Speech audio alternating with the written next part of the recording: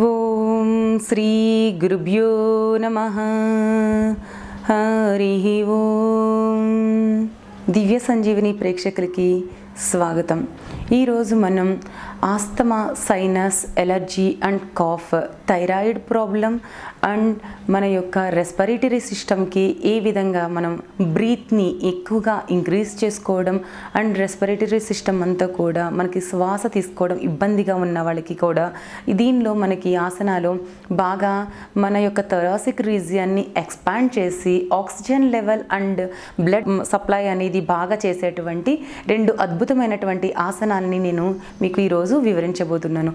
దానిలో మొదటి వచ్చేసి మనకి అర్ధ చక్రాసన రెండోది వచ్చేసి పిరియాసన. అయితే ఈ రెండు ఆసనాలు అనేది మనం ఏ విధంగా చేసుకోవాలనేది నేను మీకు ఫస్ట్గా బేసిక్ స్టేజ్ నుంచి అడ్వాన్స్ స్టేజ్ వరకు కూడా మీకు వివరించబోతున్నానండి. అయితే ఈ టూ ఆసనాస్లో కూడా మన బాడీ బ్యాక్కి బెండ్ చేయాల్సి ఉంటుంది. బ్యాక్కి బెండ్ చేసినప్పుడు కొంచెం మనకి గ్రిడీనెస్ రావటం కానివ్వండి బాడీ స్టెబిలిటీ లేకపోవడం కానీ అలాంటి ప్రాబ్లం అనేది ఉంటుందండి. కాబట్టి స్లోగా మన బాడీని మీద కాన్సన్ట్రేషన్తో మనం ఈ టూ ఆసనాస్ని కూడా చేయాల్సి ఉంటుంది. అయితే ముందుగా ఈ రెండో ఆసనాన్ని ఎవరు చేయకూడదు అంటే కనుక మనకి ఇది లోయర్ బ్యాక్ పెయిన్కి చాలా మంచి ఆసన అని చెప్పొచ్చండి. కాకపోతే స్పాంటిలైజర్స్ పెయిన్స్తో అక్కడ సివియర్గా బ్యాక్ పెయిన్తో ఇబ్బంది పడుతున్న వాళ్ళు కొంచెం మనకి చిన్న సూక్ష్మ వ్యాయామాలు అనేది అలవాటు అయిన తర్వాత ఈ ఆసనాలోకి వస్తే మనకి బెనిఫిట్ అనేది ఉంటుందండి. ముందుగానే మనం చేయడం వల్ల కొంచెం ఇబ్బంది పడడం జరుగుతుంది అనమాట స్పాంటిలైజర్స్ ఉన్న వాళ్ళు తల చేయటం. అంటే వర్టిగో ప్రాబ్లం ఉన్న వాళ్ళండి మెయిన్ వర్టిగో ప్రాబ్లం ఉన్న వాళ్ళు ఈ ఆసనాన్ని చేయకపోవడం బెటర్ అండ్ హెర్నియా ప్రాబ్లం ఉన్న వాళ్ళు హై బీపీ ఉన్నవాళ్ళు కానివ్వండి. అంతేకాకుండా దీనిలో మనం బాడీని బ్యాక్ స్ట్రెచ్ చేస్తాం కాబట్టి సర్వేకల్ స్పాంటిలైజర్స్ ఉన్నవాళ్ళు అండ్ ప్రెగ్నెంట్ లేడీస్ కూడా ఈ ఆసనాన్ని చెయ్యకూడదు. అండ్ హార్ట్కి సంబంధించినటువంటి ప్రాబ్లంతో ఫేస్ చేస్తున్న వాళ్ళు కూడా ఈ ఆసనాలు కంప్లీట్ బ్యాక్ బెండ్ అనేది చేయకోకుండా లిటిల్ బెండింగ్ అనేది చేసుకోవాల్సి ఉంటుంది. కంప్లీట్ బ్యాక్ బెండ్ అనేది కూడా స్టెబిలిటీ లేకపోవడం వలన మనకి ప్రాబ్లం అవుతుంది కాబట్టి హార్ట్ పేషెంట్స్ కూడా ఈ ఆసనాన్ని చేయకపోవడం అనేది ఉత్తమం అండి. మిగిలిన వాళ్ళందరూ కూడా ఈ ఆసనాన్ని చేయొచ్చు. అయితే ముందుగా అర్ధ చక్రాసన గురించి నేను మీకు చూపిస్తాను. ఏ విధంగా ఆసన అనేది చేయాలి అనేది. ఈ అర్ధ చక్రాసనలో అర్ధ అంటే హాఫ్ చక్ర అంటే వీల్ అనేసి అర్థం. అంటే ఫైనల్ ఫోజ్లో మన శరీరం వచ్చేసి దీనిలో ఒక సర్కిల్ అంటే ఒక అర్ధ చక్రాసన్ లాగా చంద్రాసన్ లాగా ఉండడం అనేది జరుగుతుంది కాబట్టి దీనికి అర్ధ చక్రాసన్ అనేటువంటి పేరు వచ్చిందనమాట అయితే దీనిలో అర్ధ చక్రాసన్ చేసేటప్పుడు మనం మోకాళ్ళని వంచుకోకుండా ఓన్లీ అబ్డామల్ రీజియన్ దగ్గర నుంచి అప్పర్ బాడీ అంతా కూడా కంప్లీట్లీ మనం బ్యాక్కి వీలైనంత వరకుగా మనం ఎక్స్పాండ్ చేయటం వలన మనకి ఈ థొరాసిక్ రీజియన్ అండ్ స్టమక్ దగ్గర నుంచి లోయర్ అబ్డామల్ దగ్గర నుంచి కంప్లీట్ మన మజిల్స్ అన్నీ కూడా బాగా స్ట్రెచ్ అవ్వడం అనేది జరుగుతుంది. దీన్ని అబ్జర్వ్ చేస్తూ చక్కగా మనం ఆసనాలు మనం ఉండగలిగినంతసేపు కంఫర్టబుల్ లెవెల్ని బట్టి ఉండటం అనేది ఉత్తమం అండి. అయితే స్టార్టింగ్గా అనేది జస్ట్ ఆసనాలోకి వెళ్ళి వస్తూ నెమ్మది నెమ్మదిగా మనము ఒక ఫైవ్ మినిట్స్ వరకు కూడా ఈ ఆసనాల్లో ఉండొచ్చు అండి.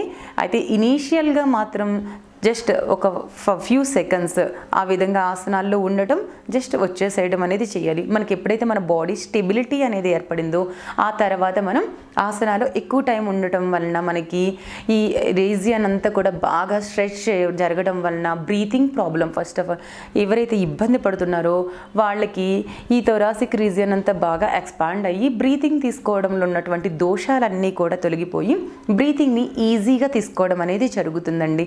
అయితే ఈ ఆసనాన్ని ముందుగా ఏ విధంగా చేయాలో చూద్దాము. ముందుగా మనం తాడాసనలో నుంచోవాలి. తాడాసనలో నుంచున్నప్పుడు మన యొక్క యాంకిల్స్ రెండు కూడా జాయింట్ చేసి పెట్టుకోవాలి. అండ్ మన టోస్ కూడా జాయింట్ చేసి ఉండాలండి. అయితే ఇది బ్యాక్ బెండింగ్ కాబట్టి నేను మీకు సైడ్ యాంగిల్లో ఇప్పుడు నేను మీకు చూపిస్తాను. ఈ విధంగా స్టాండింగ్ పొజిషన్ తాడాసనలో నుంచుని నుంచి బాడీ స్ట్రైట్గా పెట్టుకోవాలండి. పెట్టుకుని బోత్ హ్యాండ్స్ని మనకి ఇక్కడ ఈ బేస్ దగ్గర మనం సపోర్ట్ తీసుకోవాల్సి ఉంటుంది. ఈ విధంగా సపోర్ట్ పెట్టుకుని నెమ్మదిగా శ్వాసను తీసుకుంటూ స్లోగా మనకి ఎంతవరకు వీలైతే అంతవరకు ఈ విధంగా మనం బ్యాక్ బెండ్ కావాల్సి ఉంటుంది.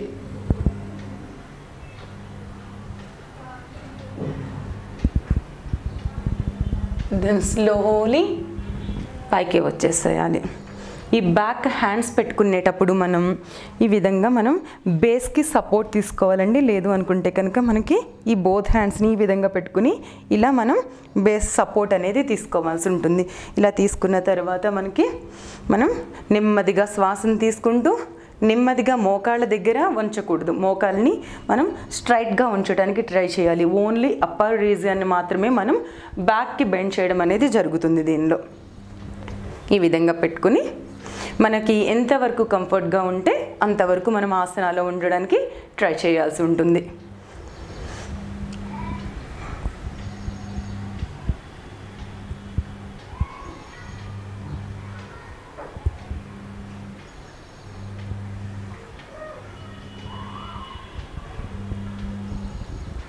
దెన్ స్లోలీ పైకి వచ్చేసేయాలండి.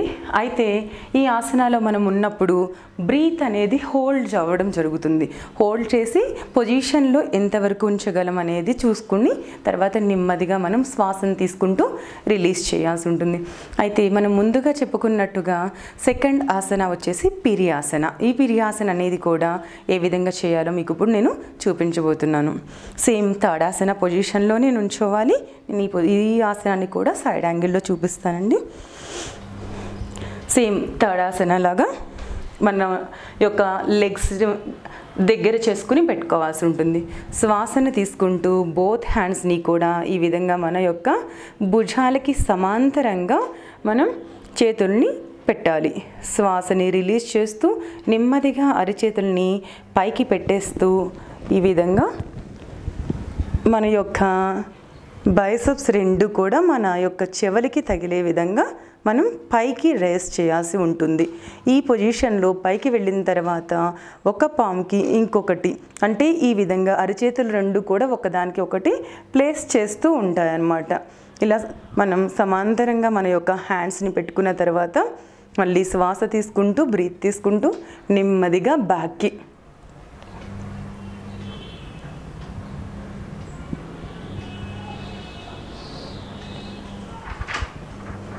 ఈ పొజిషన్లో కూడా మనం శ్వాసని హోల్డ్ చేయాల్సి ఉంటుంది. హోల్డ్ చేస్తూ మనం ఎంతవరకు ఉంచగలమో చూసుకుంటూ తర్వాత నెమ్మదిగా రిలీజ్ చేయాల్సి ఉంటుంది.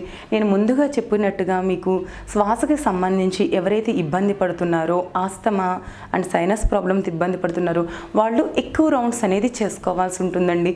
స్టార్టింగ్గా ఫోర్ నుంచి స్టార్ట్ చేయండి. ఫోర్ రౌండ్స్లో వరకు మనం ఆ ఆసనాలో ట్రై చేస్తూ తర్వాత నెమ్మది నెమ్మదిగా ఒక ఎయిట్ రౌండ్స్ వరకు కూడా ఈ ఆసనాన్ని మనం ప్రాక్టీస్ చేయొచ్చు. ఈ విధంగా శ్వాసను తీసుకుంటూ మళ్ళీ శ్వాసని రిలీజ్ చేస్తూ పైకి శ్వాసని తీసుకుంటూ బ్యాక్ బెండింగ్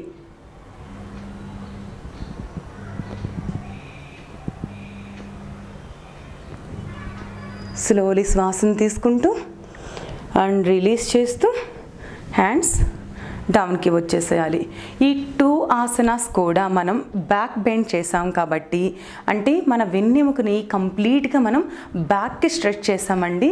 సో దీనికి ఈ ఆసన చేసిన తర్వాత మనం కాంప్లిమెంటరీ ఆసనగా మనం ఉత్థాన పాదాసన అనేది చేసుకోవడం అనేది చాలా మంచిదే అండి.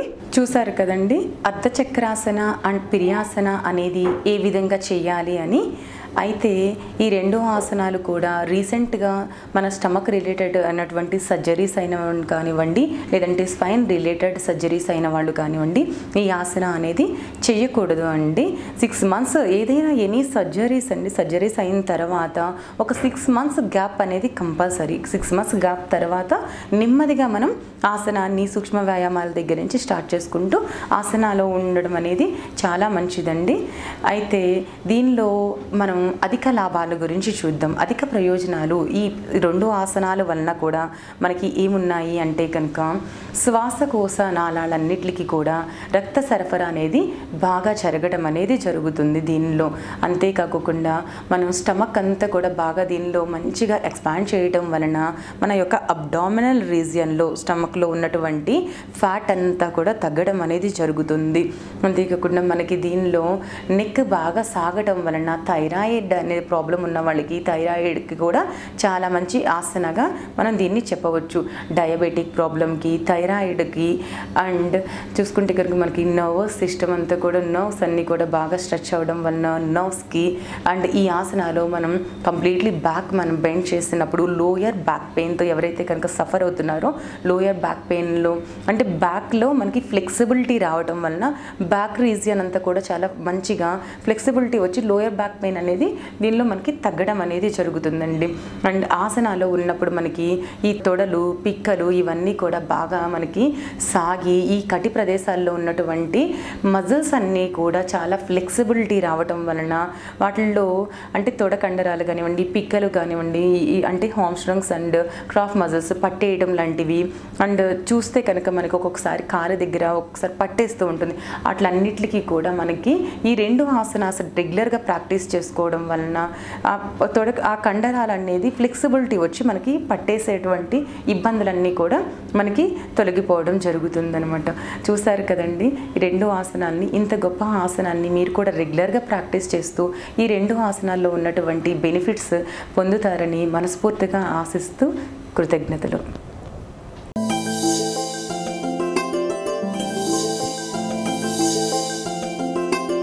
వీడియో మీకు నచ్చినట్లయితే లైక్ మరియు షేర్ చేయండి. మీ అమూల్యమైన అభిప్రాయాన్ని కామెంట్ రూపంలో తెలియచేయండి. ఇలాంటి మరిన్ని వీడియోస్ కోసం మా ఛానల్ను సబ్స్క్రైబ్ చేసి పక్కనే ఉన్న గంట సింబల్ను నొక్కండి.